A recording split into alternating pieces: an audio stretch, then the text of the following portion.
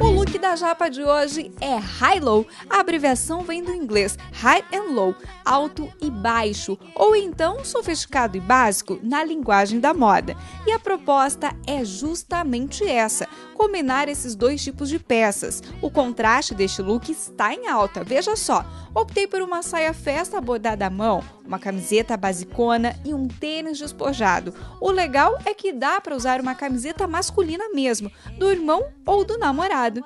Para não ter erro, siga seu bom senso, combinando uma peça mais delicada com uma mais molecona. E isso vai ampliar as opções do seu guarda-roupa.